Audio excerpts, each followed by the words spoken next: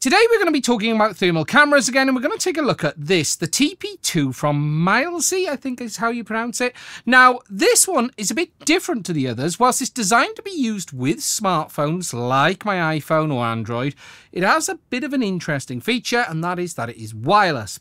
Now in this video we're going to take a look at this, I'm going to give you an overview of its features and capabilities and then at the very end I'm going to share with you my thoughts. Before we do that though I do need to be clear that Mileseey did send me this camera over to review for free free. They have not paid me to make this video. They've not seen this video before it's been published. And as always, my thoughts are entirely my own. Now, the TP2 is a bit different to a number of the thermal images that I've looked at on this channel in the past, and that is because this one is wireless. Those other ones usually had either a USB-C port on the bottom or an Apple Lightning port, whereas this one uses Wi-Fi. That means whilst it does work with Android and iOS, it is completely agnostic, which means you don't have to buy one specifically for your device. You just buy this unit and it will work with whichever one you have, as long as you have the app installed. Now, there are several different versions of the TP2 available. You've got the TP2 that I've got here, which is the thermal imager, and there's a TP2 Plus, which has both the thermal and the standard camera installed as well. But the one we're looking at today is the standard TP2. Now, when we open it up inside, you will find that it comes in this nice case. This holds the unit itself. Alongside this in the box, you will find some instructions for the unit as well. It did originally come in this little protective bag, which I'd already removed. Now, if we open this up, you will get to see the unit itself. It is much larger than those other thermal images, and that is because it has a built-in battery. If we take a look on the bottom, we've got a tripod mount. If we take a look on the side, there's a USB-C port for charging that battery there. Looking around it on the back, it's pretty flat, but you do have these little pieces here that flip up. And what these are for is putting in your mobile phone. So for instance, if I just give that a pull, you can see that will stretch out. So whilst it doesn't use a physical connection to your phone, you can actually connect it to your phone like that. It will still use the wireless link between the device and your phone, but you can have it as one unit just like some of the others. The nice thing about this though is that it isn't sticking off at the bottom like you see on some of the others. This one instead is mounted on the back, so it gives you a more traditional camera setup. Now looking around the unit, there really isn't a great deal else to show you. As I've said, we've got the USB-C port, we've got a tripod mount down the bottom there as well, and then on the front, we've simply got our power button and our LEDs to give us our battery level. To turn it on, you simply press the power button release, and then it will power on, and then you're able to connect it to your phone. Now the specifications of the thermal imager on this camera are as follows. It has a resolution of 256 by 192. That is pretty much the same as everything that we have seen on the channel in the past. All of these thermal images are around that at this standard version. It features a pixel pitch of 12 micrometers, has a wavelength range of 7.5 to 40 micrometers, and a frame rate of 25 hertz. It has a focal length of 3.2 millimeter and a lens aperture of 1.1. Now, this one has a fixed focus lens. There is a version, I think they're calling it the Pro version, that has a variable focus lens. I don't have that one here. This one is fixed focus. That means that you're not going to be able to get in up as close for electronic repair work as you might on some of the other ones. This one, the TP2, is really designed for standard thermal imaging, looking at wiring, looking at boards. We'll take a look at that little little bit more later on. What this isn't going to be ideal for though is board repair where you want to get in close. This the vision with the focus is the one that's going to allow you to do it. The minimum focal distance on this they're saying is 0.3 meters. So you're going to need a bit of a gap, 30 centimeters minimum to be able to get a good focus on the thermal imager. Now to get this to work you will need to download their app. I've done that on my phone already and I've got it powered on and you can now see it listed down here under the device list. You can see it is showing up as the TP2 so I can simply click connect join the Wi-Fi network that the camera creates. So it has Bluetooth and it has a Wi-Fi network that it generates. And then after a couple of seconds, it will connect and then we'll have that thermal image showing up there on the screen.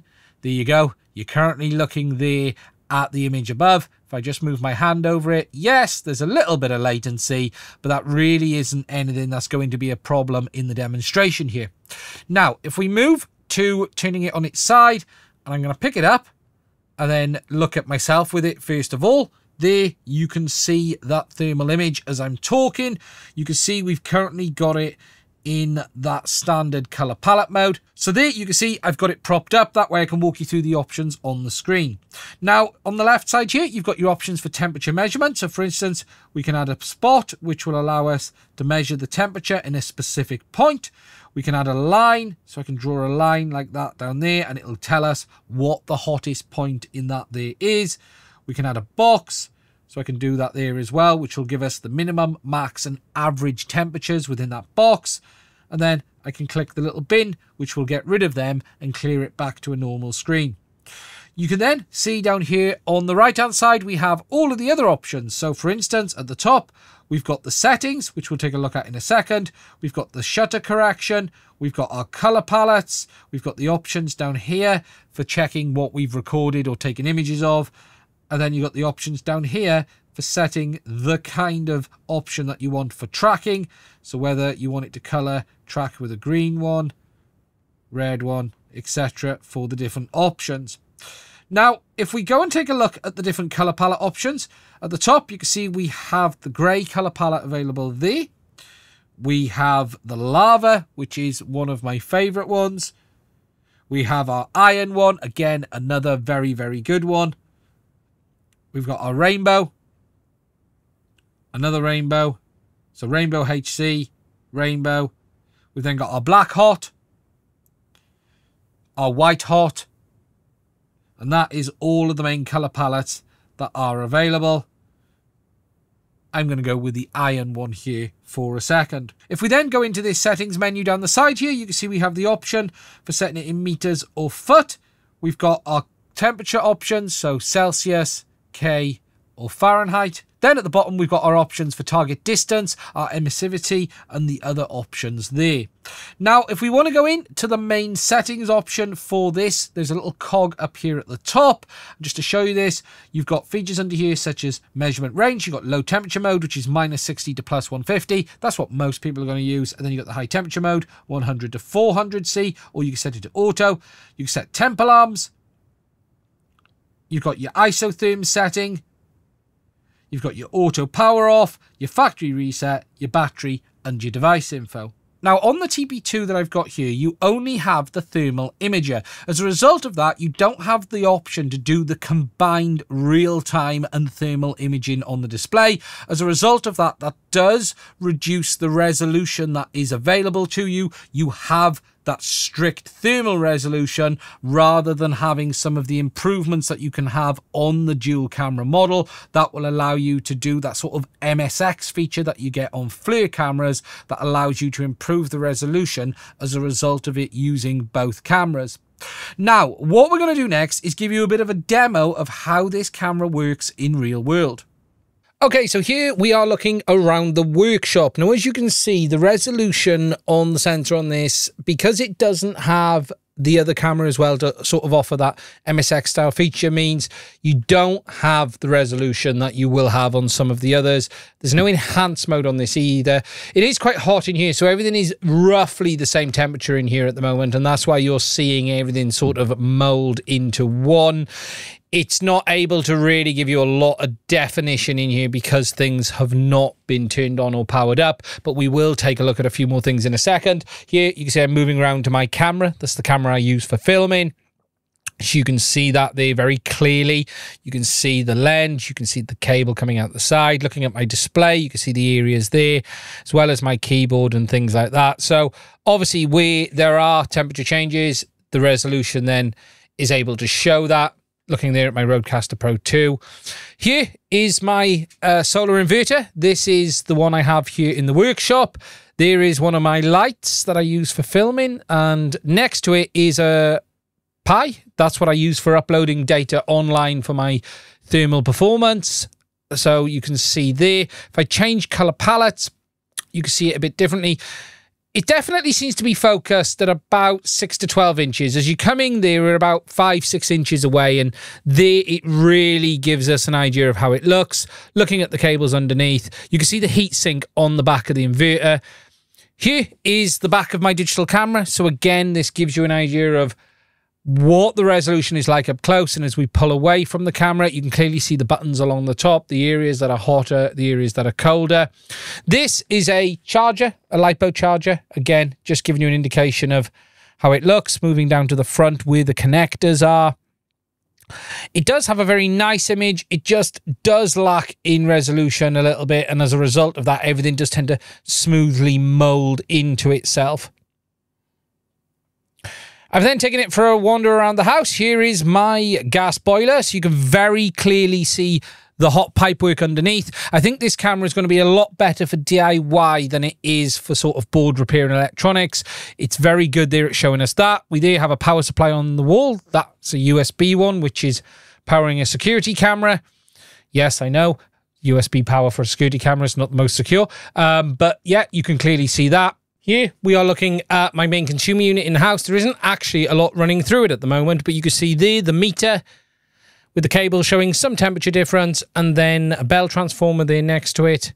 Heading out into the street now just to show you what it's like on much larger things. So here you are looking at the street down with cars parked up and there you can see properties.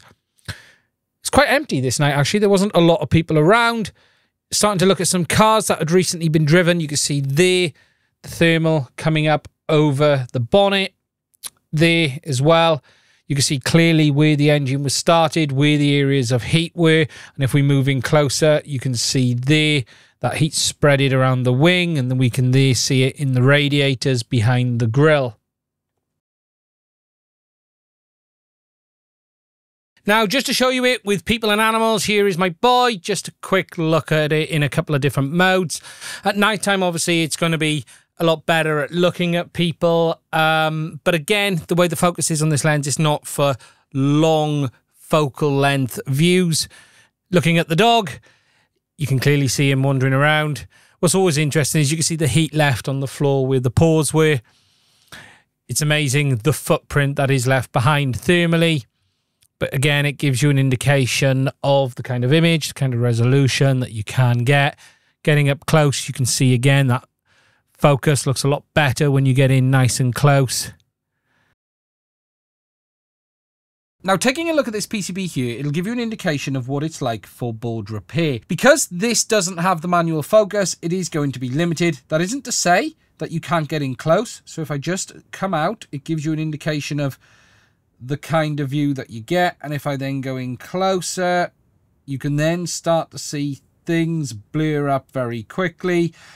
It certainly could be used to indicate areas of heat. So if we just flip this board over so we can have a look on the other side, this will give us a view there of what it's like. So we can see that IC there is getting hot. But on this camera, it just doesn't have the resolution at this distance to be able to pinpoint that exactly. And if we wanted to get in closer, you can see everything just gets very, very blurry. What you can absolutely do is see that there is heat. It's just not going to allow us to pinpoint exactly what it is.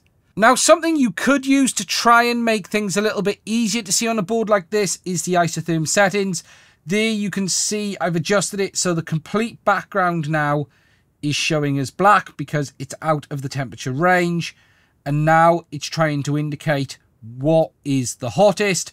Whilst you may not always be able to see what is the hottest, you can put the pinpoint on, which will give you an indication of the hotspot. So you can see that there, that it is bouncing around on that IC there to tell us that that is the hottest point. But again, it's going to be hard on this to pinpoint very specific components unless they are of a size of things like this IC here. Okay, now to share with you my thoughts on the TP2. Now, overall, I actually think this is a really interesting product. There are some stuff I really do like about it, but it isn't ideal for my personal use case here. What I really like is the fact that it's wireless. It is standalone, you can hold it, you can have your smartphone in one hand and the camera in another. That means it's agnostic. You can use it on Android, you can use it on iPhone. You don't have to buy the model specifically for your smartphone type. One of the issues I came across recently, in fact, with my Apple based ones, the Lightning ones, is when I did upgrade my phone to the 15, and although I did end up sending that back, that now uses USB C, which means I couldn't use those cameras with it. That wouldn't be a problem on this. Battery life seems good overall features and capability is on par with the others that I've tested out there. And I think its biggest benefit is the fact that it has a built-in battery. It's standalone. You can use it attached to your smartphone if you want to, but you can use it separately.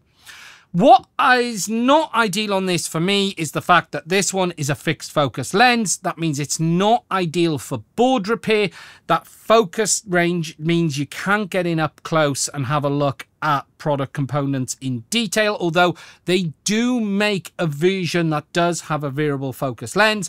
This one doesn't have the second standard imaging camera either, so it is only thermal. And I will say that I think the thermal quality on this isn't quite as good as some of the others I've tested. It doesn't seem to have the enhanced modes that those others have. Um, overall, it has the same resolution as some of the cameras, but everything is just a little less refined, but that may be due to the sensor type compared to the others as well.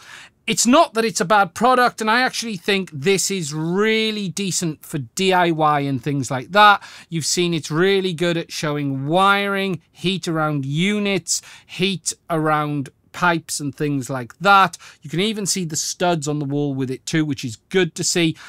It's just not as versatile as some of those other models with the variable focus lens. They do have the TP2 Plus, which has the second imaging camera, and then there is a Pro version that has that variable focus lens. I'd be really interested in checking out that Pro version actually to see what that's like, especially for board repair. The fact I don't have to attach it to my camera is a real big bonus for me. Overall, I actually think it's a good product for DIY maybe electricians, general thermal use, it's just not ideal for bench and board repair. Now, price-wise, depending on which version you choose, the TP2 Plus, which has the dual cameras, is available in the UK for £388.55. There is the standard version available for 310 or in dollars, it's 499 or so, as you saw it converting there. But there is 20% off available on a summer sale right now. Their website has all of the information with regards to the camera as well. You can see it's ideal here for working on vehicles. It's ideal for getting into tight places. I really do like that wireless functionality, as I've already said. That is the big difference between this camera and the ones that I've looked at in the past on the channel. It's just giving you a lot more flexibility than you will have compared to, say, the ones that go into the USB port on the bottom. Now, if you're interested in getting one, there will be a link to it in the description. I want to say a big thank you to Marzi for sending this one over. I would love to check out the Pro version with the variable focus lens. That would be really cool to have a look at here on the channel. Now, before I wrap this one up, I just want to say if you have found this video interesting, let me know what you think in the comment section down below. If you're interested in supporting the channel, there are also links to Patreon as well as Buy Me a Coffee in the description. It is only through the support of my patrons I'm able to keep making content on this channel. And if you'd like to support us to allow us to keep making content in the future, please do consider checking it out. Anyway, that's it for me on this one. Stay safe. I will speak to you soon.